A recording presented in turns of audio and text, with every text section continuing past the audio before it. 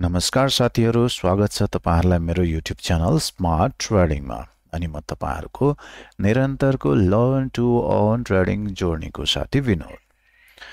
साथीहरू सदा चाहिँ आज यहाँहरू समक्ष म नेप्सेमा ट्रेडिङ हुँदै गरेका केही स्टकहरू।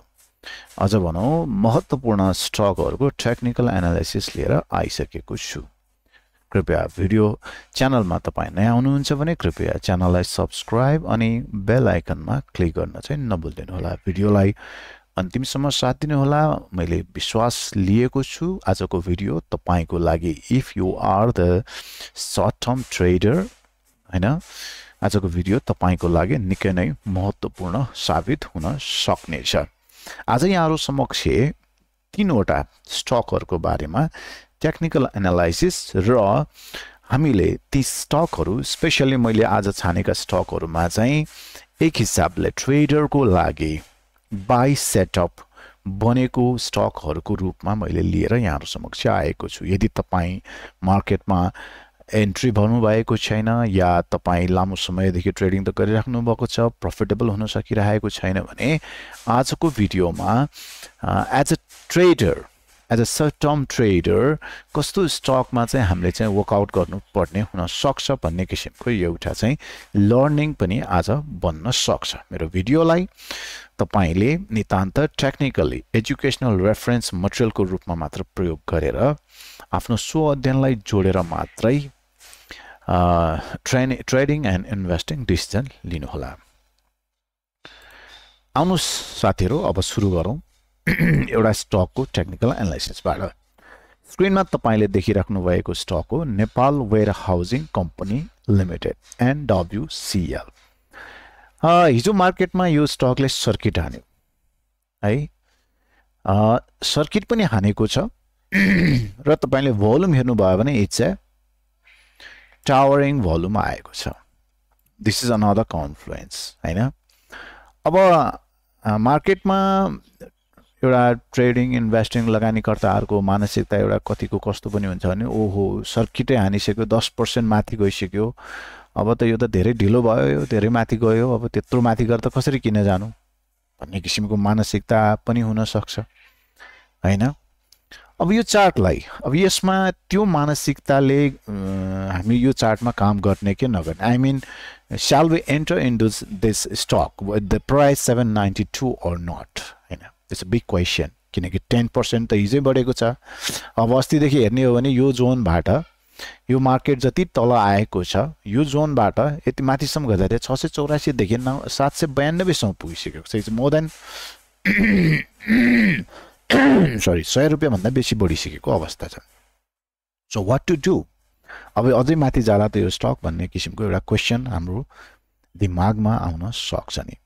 अब त्यसको लागि सर्टेन कुराहरू हामीले ख्याल गर्नुपर्छ साथीहरू पहिलो कुरा त के हो त भन्दाखेरि यसको कन्फ्लुएन्सहरू यो स्टकमा एन्ट्री गर्नको लागि प्रोभाबिलिटीका कन्फ्लुएन्सहरू याद खोज्नु पर्दाखेरि प्लिज बेयर इन माइन्ड है point to be noted these points to be noted सबभन्दा पहिलो कुरा त यो आइपिओ स्टक हो आइपिओ स्टक त्यसमा चाहिँ Nepal warehousing company limited भन्ने एउटा चाहिँ अदर सेक्टर अन्तर्गत पर्ने अलिकति लो क्याप टाइपको स्टक हेर्नुहोस् है दोस्रो कुरा।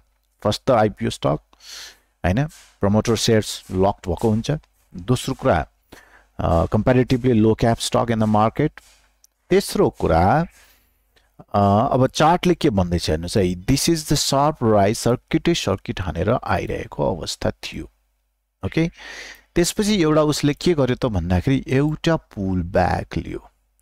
पुल ब्याक पछि तिनवटा राम्रा राम्रा क्यान्डल्सहरू बनेको तपाईँ देख्नुहुन्छ। अब यी क्यान्डलहरूमा तपाईँ एन्ट्री गर्नुहुन्छ कि हुँदैन त? टेक्निकल्ली भन्नुपर्दाखेरि यी क्यान्डलहरू बन्न त ठुल्ठुला क्यान्डल बने होइन? तर त्यसले हामीलाई त्यो लेभलको कन्फिडेन्स दिँदैन जुन लेभलको कन्फिडेन्स एज अ ट्रेडर हामीलाई चाहिन्छ। है किन त भन्दाखेरि यो फल जुन छ यो फल चाहिँ हाम्रो लागि त्यति सन्तोषजनक फल चाहिँ थिएन। The way it is falling त्यो फल चाहिँ अलिकति हामीले भन्नुपर्दाखेरि अलिकति स्मुथ फल्स स्मुथ फलमा एक दुईवटा यस्तो ग्रिन क्यान्डल बन्दैमा हामी एग्रेसिभली मार्केटमा हामी लाग्दैनौँ। अब त्यसपछि अब त्यसपछिको नेक्स्ट फल यो जोन हेर्नुहोस् ओके युज फल चाहिँ very very very low scale होइन? यसको ग्रेड के? भनौँ न जो चाहिँ यो जुन फलको एङ्गल जुन छ त्यो फलमा चाहिँ यो जुन गयो अर्को एउटा एउटा यो राइज त्यसपछिको आएको फल चाहिँ अलमोस्ट फ्ल्याट भयो ओके अलमोस्ट फ्ल्याट अब त्यसपछि अर्को कन्फ्लुएन्स हामीले यो फ्ल्याट हुँदै जाँदाखेरि हामीलाई यसले के भन्दैछ त भन्दाखेरि यो स्टकमा कुनै पनि एउटा बेला चाहिँ मोमेन्टम यसले दिने सम्भावना चाहिँ बढ्दै गइरहेछ भन्ने किसिमको यसले कन्फिडेन्स हामीलाई दिँदै गयो ओके?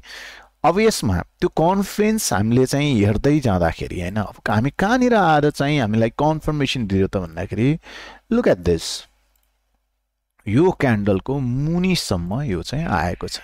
यसलाई चाहिँ स्मार्ट मनी कन्सेप्टबाट चाहिँ म चाहिँ के भन्छु त भन्दाखेरि it's nothing more than the other then the liquidity sweep liquidity sweep भने के हो त भन्दाखेरि इन्ड्युसिङ द ट्रेडर्स ट्रेडर्सलाई इन्ड्युस गर्ने होइन र ट्र्याप गर्ने। सो यसमा भएको एक्टिभिटिज के भएको छ त भन्दाखेरि लुक एट दिस अब अलिकति हामी माइक्रोस्कोपिक पोइन्ट अफ भ्यूबाट जाउँ। यो जुन रेड के दुईवटा क्यान्डल जुन बनेको छ यो रेड दुइटा क्यान्डलले के गर्यो त भन्दाखेरि यो लोलाई ब्रेक गर्यो। सामान्यत ट्रेडिङ कन्सेप्टमा रिटेल ट्रेडरहरूले के सोध्छ त भन्दाखेरि यो लोलाई ब्रेक गर्यो भने उसले स्टप लस गर्नुपर्छ भन्ने किसिमको मानसिकतामा ऊ बसेको हुन्छ। सो दुईवटा स्ट्रङ रेड क्यान्डल्सहरू बन्दाखेरि होइन रिटेल ट्रेडरहरू डराउँछ बेच्छ। नेक्स्ट डे मार्केट फेरि ओपन कहाँ भयो त? ग्याप डाउन ओपन भयो। होइन यो पोइन्टभन्दा पनि लो। त्यसले मार्केटलाई अझै तर्साइदिन्छ रिटेल ट्रेडरलाई सो त्यसपछि यसरी तर्साएर रिटेल ट्रेडरलाई मार्केटबाट चाहिँ मार्केटमा ट्र्याप गरिसकेपछि एक्जिट गराइसकेपछि त्यसपछि यो मुभ चाहिँ के हो त भन्दाखेरि simply this move is operator मुभको रूपमा हामीले लिन सक्दछौँ। अपरेटर मुभ के भने मतलब? रिटेल ट्रेडरलाई ट्र्याप गर्ने त्यसपछि माथि लाने यसको मतलब के त भन्दाखेरि यो स्टकमा जुन प्लेयर्सद्वारा प्ले भइरहेको छ the player doesn't want to keep the market below this level यो लेभलभन्दा मार्केट तल ल्याउन चाहँदैन भन्ने किसिमको चाहिँ यो यो किसिमको जुन मुभ भएको छ त्यसले हामीलाई दिइरहेको अवस्था भयो। अब यसमा ख्याल गर्नुपर्ने अर्को एउटा कुरा छ साथीहरू। त्यो कुरा के त भन्दाखेरि लुक एट दिस अब यसमा यो जुन किसिमले यो फल भइरहेको थियो यो फल चाहिँ कसरी छ भने one two three four five six seven eight nine okay यो किसिमको फल छ। त्यो भने मतलब सिम्पली दाउ थ्योरी अनुसार यो लेगमा हामीले हेर्छौँ भने लोर हाई लोर लो लोर हाई लोर लो लोर हाई लोर लो लोर हाई लोर लो बनाएर हेरेको अवस्थामा जब यो मुभ पछिको यो सार्प फोर क्यान्डल्स मुभ आयो यो मुभले के गर्यो त भन्दाखेरि यो प्रिभियस लोर हाईलाई ब्रेक गरेर माथि क्यान्डल क्लोजिङ दियो। सो यो हुँदाखेरिको चाहिँ अवस्थामा यहाँ के भएको छ त? Look at these volume perspective यतातिरको यो भोलुम पर्सपेक्टिभमा तपाईँले हेर्नुभयो भने it's a rising volume okay so from from my technical setup point of view मेरो लागि चाहिँ, यो लिक्विडिटी स्विप गरिसकेपछि यो हाईलाई ब्रेक गर्दाखेरि नै इन अ वे होइन इन अ वे हामी के सोच्न सक्छौँ त भन्दाखेरि this candle is our buying setup limit candle त्यसको मतलब के त भन्दाखेरि, हामीले यो स्टकमा यो प्राइसमा भने मतलब सेभेन हन्ड्रेड एन्ड सिक्सटिनको प्राइसमा है, हामी एन्ट्री गर्न सक्थ्यो भने, यसको स्टप लस यहाँ राखेर our first target will be about this high होइन, यो हाईको भनेको हाम्रो इट्स अलमोस्ट लाइक फोर्टी पर्सेन्टको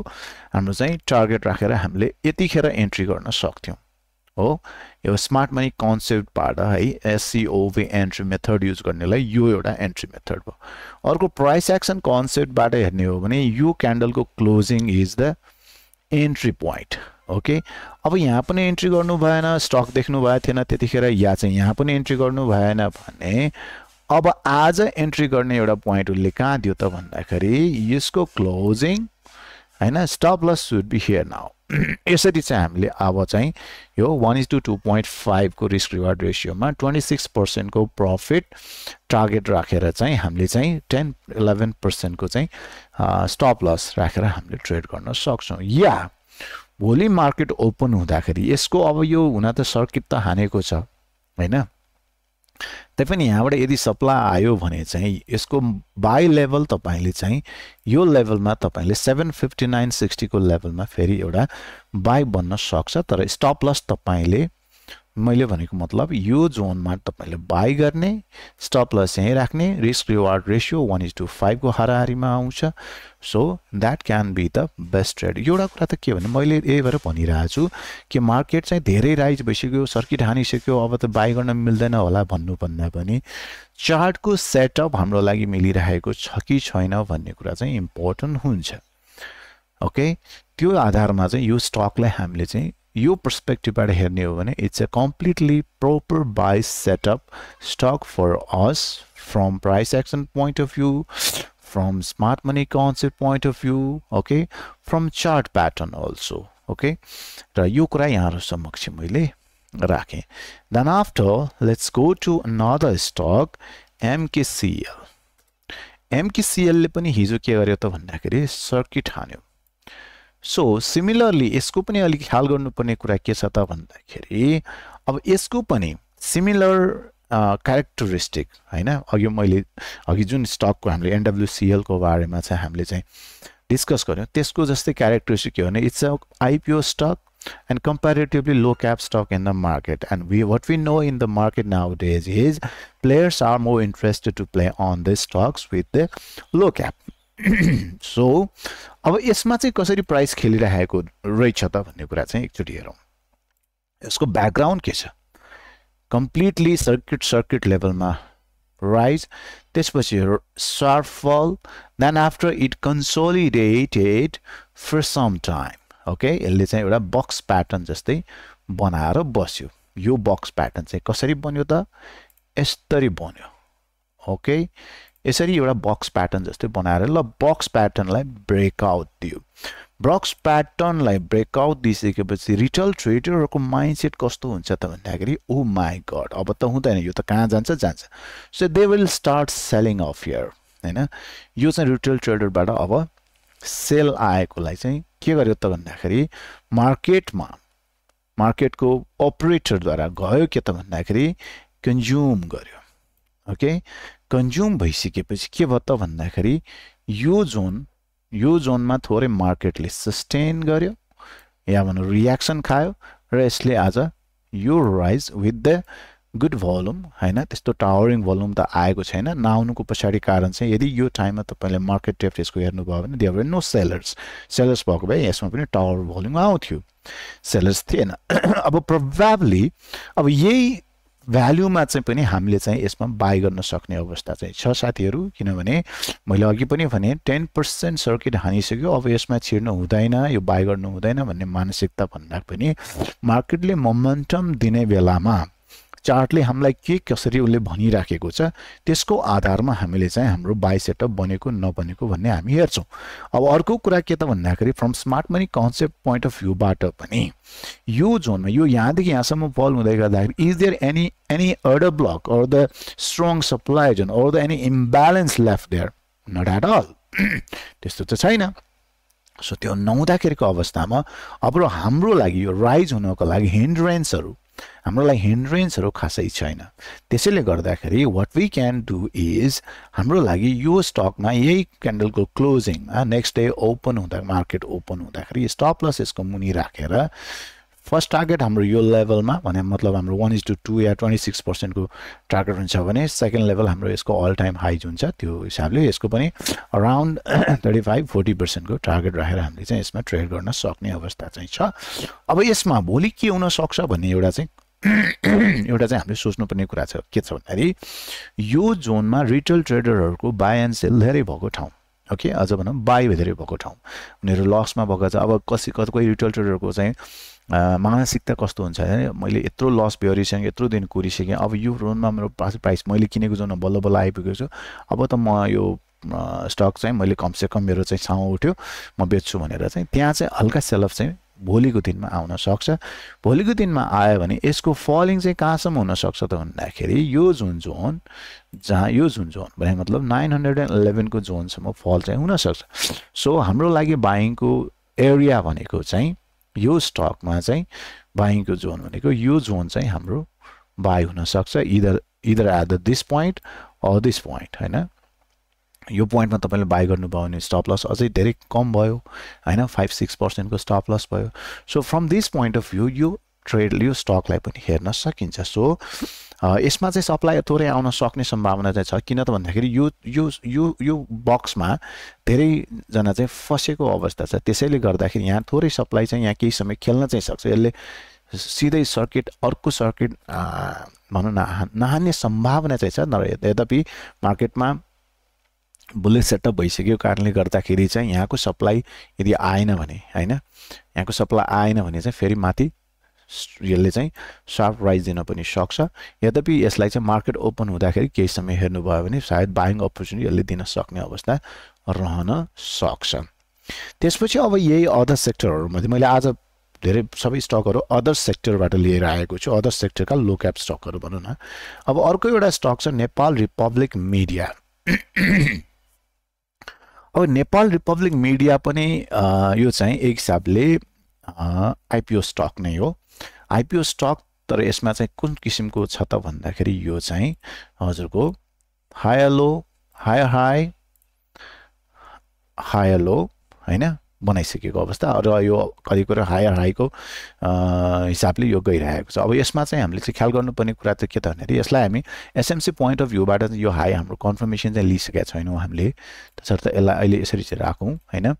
यसमा भएको के छ त भन्दाखेरि यो पनि एउटा आइपिओ स्टक र यसको चाहिँ ब्याकग्राउन्ड हेर्ने हो भने चाहिँ सरप्राइज ट्रेन्डिङ स्टक यसलाई हामी ट्रेन्डिङ स्टक भन्छ। अघि यो स्टक पनि ट्रेन्डिङ स्टक यो पनि ट्रेन्डिङ स्टक। त्यसपछि के भयो त भन्दाखेरि देन आफ्टर यो चाहिँ हाम्रो के हो त? This is our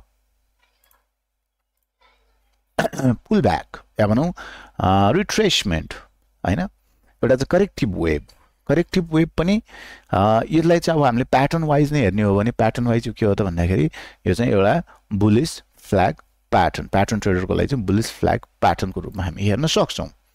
सो अब यसमा के भइरहेको छ त भन्दाखेरि भन्दाखेरि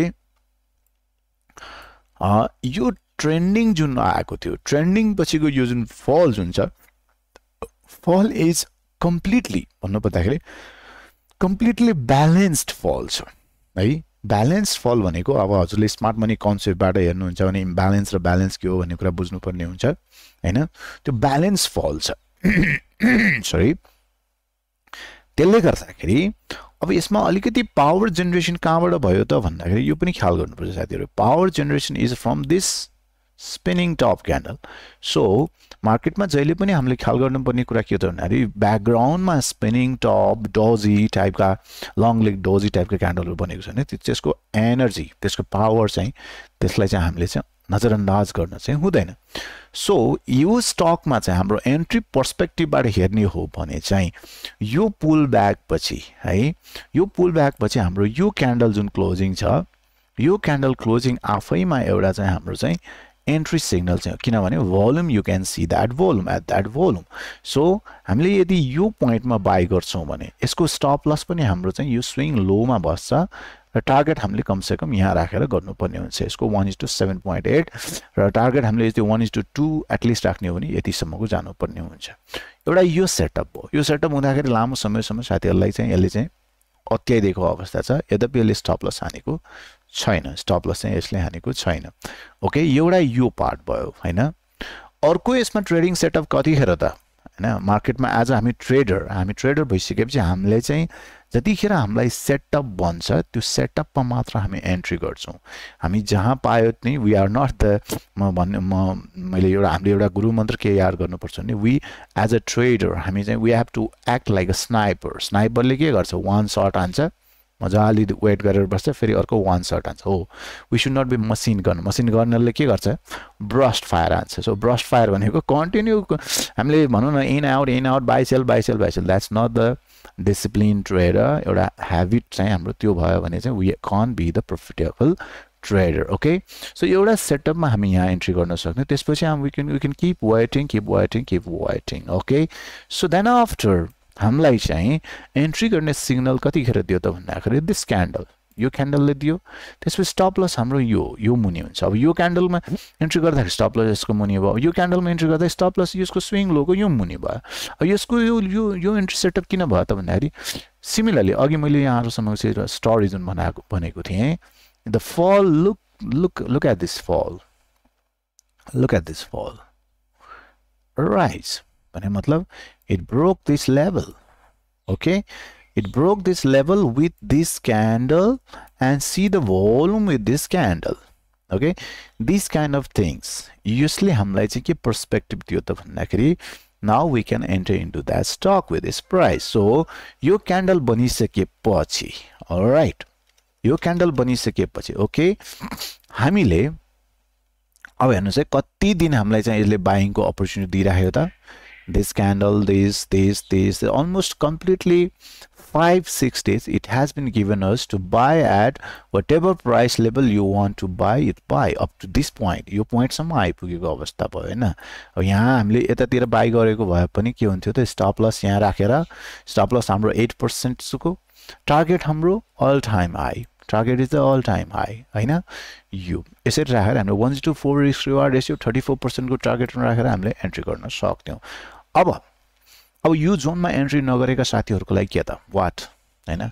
त्यो भन्ने हो भने अब नाउ आजको यो भोल्युम जुन आएको छ दिस भोल्युम जुन आएको छ त्यसपछि यो यो जुन पुल ब्याग जुन छ पुल ब्याग चाहिँ सिद्धिसकेको अवस्थामा जुन यो क्यान्डल पछि यो क्यान्डल जुन हाम्रो अघिल्लो बाइसेटअप क्यान्डल जुन मैले यहाँ भने यो क्यान्डल पछि जुन किसिमको चाहिँ क्यान्डलहरू बनेको छ त्यसपछिको भोल्युमको जुन ड्राई आउट हेर्नुहोस् र आज यो भोल्युम आएको त्यसले हामीलाई कम्प्लिटली एउटा चाहिँ कन्फिडेन्स के दियो त भन्दाखेरि Now still if I'm not in this stock, I still can consider buying at this level and putting the stop loss below this. Okay यो सेटअपमा अझै पनि हामीले काम गर्न सक्छौँ so from my point of view as I have told you होइन मैले यहाँहरूलाई के राखेँ त भन्दाखेरि यो स्टकमा हामीलाई मल्टिपल ठाउँहरूमा यसले चाहिँ बाई अपर्च्युनिटी दिएको छ यद्यपि हाम्रो प्रफिट चाहिँ जेनेरेसन भइसकेको अवस्था छैन but the the stock has started its momentum in upward direction भन्ने देखिन्छ स्मार्ट मनी यसलाई चाहिँ थोरै अप लान सक्ने यसले सम्भावना छ भने छ सो यसमा चाहिँ हाम्रो चाहिँ बाई सेटअप चाहिँ कति ठाउँमा रह्यो त हाम्रो भन्दाखेरि three places from trader perspective होइन? यसरी चाहिँ हामी बाई गर्न सक्छौँ।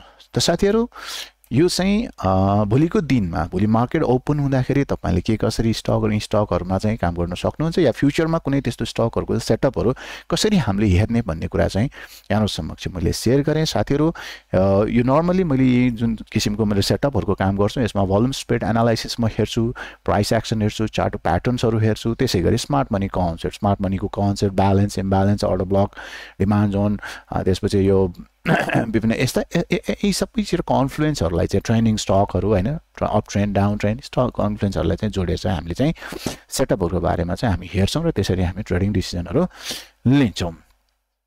त साथीहरू यतिखेर अब तपाईँलाई एउटा महत्त्वपूर्ण जानकारी यदि मेरो ढङ्गले तपाईँ टेक्निकल एनालिसिस गरेर प्रफिटेबल ट्रेडर बन्न चाहनुहुन्छ या चाहिँ लामो समयदेखि मार्केटमा हुनुहुन्छ प्रपरली बाई ठ्याकै कतिखेर गर्ने कतिखेर नगर्ने भन्ने किसिमको चाहिँ कन्फ्युजन छ भने you can join my VIP smart trading community you can have we can have one time payment and life time mentorship training full course training plus चाहिँ लाइफ टाइम मेन्टरसिप प्रोग्राम तपाईँले join गर्न सक्नुहुन्छ। त्यसको लागि nine eight five one one eight one seven seven नाइनमा मलाई WhatsApp गर्न सक्नुहुन्छ। त साथीहरू यति भन्दै मैले मेरो आफ्नो प्रस्तुति भिडियोलाई यहीँ पुगेर टुङ्ग्याउने प्रयत्न गरेको छु। आशा छ भिडियो तपाईँलाई निकै पनि निकै महत्त्वपूर्ण लागेको हुनुपर्दछ।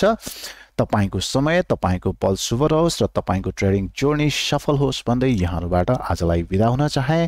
भिडियो के कस्तो लाग्यो फिडब्याक र कमेन्टमा राख्न नभुल्नुहोला। तपाईँको कुनै स्टक यदि एनालाइसिस गरिदिनुहोस् भन्ने चाहनुहुन्छ भने पक्कै पनि फिडब्याकमा राख्न सक्नुहुन्छ। I will try my best to in another episode with your stock analysis thank you very much namaskar